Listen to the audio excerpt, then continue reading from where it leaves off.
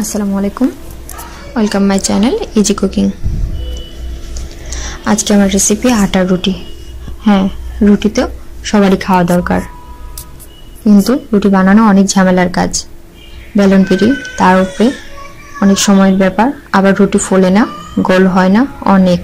আমি এসব থেকে মুক্তির জন্য একটি সহজ রেসিপি নিয়ে এসেছি। সেটা তৈরি শুধুমাত্র আটা এবং লবণ দিয়ে হয়ে যাবে। আমি এখানে আটা নিয়েছি, আর দুই কাপ আটা নিয়েছি। আটাটাকে আপনারা চেলে নিতে পারেন। আর নিয়েছি আমি প্রায় হাফ চামচ লবণ। আমি এবার এই শুকনো উপকরণকে একটু ভালোভাবে মিশিয়ে নিচ্ছি।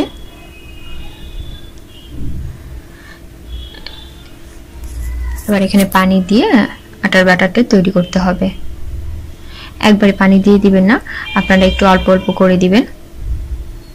নইলে ব্যাটারটা বেশি নরম হয়ে যাবে, পাতলা হয়ে যাবে, আবার বেশি ঘন রাখা যাবে না। আপনারা লক্ষ্য করলে বুঝতে পারবেন। আপনারা চাইলে এটা হাত দিয়ে তৈরি করতে পারেন, কোনো সমস্যা নেই। এখানে নর্মাল পানি ইউজ করতে হবে, গরম পানি না।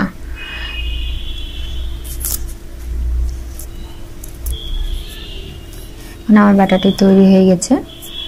এটা ঘনত্বটা ঠিক এরকম হবে। আমি দেখিয়ে দিচ্ছি। তৈরি হয়ে গেছে। আমি এবার একটি প্যানে সামান্য একটু তেল ব্রাশ করে নিচ্ছি। এক্সট্রা কোনো তেলের দরকার নেই, জাস্ট আমি শুধু প্যানটা একটু মুছিয়ে নিচ্ছি। এবার সেই বাটারটি একটু চামচের সাহায্যে গোল একটা চামচ নিয়েছি। একটু সাহায্যে একটু নেড়ে নিতে হবে। নেড়ে আমি প্যানে দিয়ে দিচ্ছি। আমি প্রায় দেড় চামচ বাটার নিয়ে এটা মাঝখান থেকে ঘুরিয়ে দিতে হবে। এটা লক্ষ্য রাখবেন, এটা মাঝখান থেকে সাইডে ঘুরিয়ে দিতে হবে। তাহলে মাঝখানটা মোটা হবে না, আর এটা একটা রাউন্ড শেপে চলে আসবে। হয়ে গেছে। এখন কিছুক্ষণ অপেক্ষা করতে হবে, দুই মিনিট এভাবে থাকলে উপরের কালারটা অনেক চেঞ্জ হয়ে আসবে। দুই মিনিট পরে আমি রুটিটি উল্টে দিচ্ছি।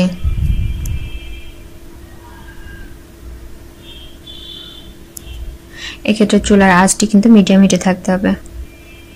বেশি দিলে পুড়ে যাবে, এটা একটু ধৈর্য সহকারে একটু চেপে চেপে আর রুটিটা ভেজে নিতে হবে। দেখুন আমার রুটিটি ফুলে উঠছে। কোনো ঝামেলা ছাড়াই রুটি, কত সুন্দর রুটি হয়ে যাচ্ছে এবং ফুল রুটি। আমরা বেলুন পিড়িতে করলে অনেক সময়তে রুটি ফুলে না, আবার গোলো হয় না। দেখুন রুটিটি ফুলে উঠেছে, আপনারা লক্ষ্য করলে বুঝতে পারবেন। এবার কিনারগুলো একটু ভালোভাবে চেপে চেপে এই করে নিতে হবে। আর মাঝখানে যে জায়গা ফুলে উঠবে, একটু চাপ দিলে সাইডগুলো আরও ভালো হয়ে ফুলে উঠবে।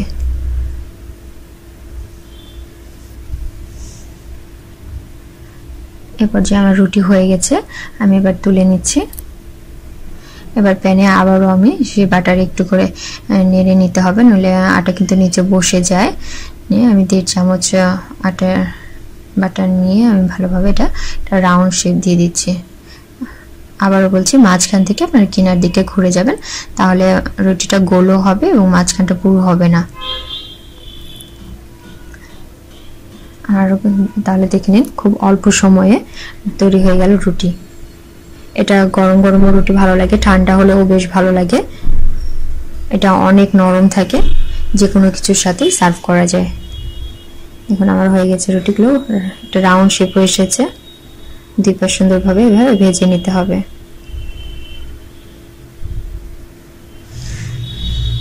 ছিঁড়ে দেখাচ্ছে, দেখুন। সুন্দরভাবে ছিঁড়ে যাচ্ছে। এটা গরম গরম, একটু নরম, বেশি আঠালো ধরনের থাকে। ঠান্ডা হলে একবারে সুন্দর হয়ে যায় আরও আমি এখানে মাংসের সাথে সার্ভ করছি। এটা যে কোনো কিছুর সাথেই খেতে ভালো লাগে। খুব তাড়াতাড়ি খেয়ে শেষ করে দেওয়া যায়। তাহলে আর নয়, ভাতের উপরে ডিপেন্ডেন্ট বা বাইরের কোনো খাবার। বাসায় খুব অল্প সময়ে ঝটপট রুটি তৈরি করা যাবে। রেসিপিটি যদি আপনাদের ভালো লেগে থাকে, অবশ্যই লাইক কমেন্ট শেয়ার করবেন এবং আমাকে জানাবেন। ওকে আল্লাহ হাফেজ।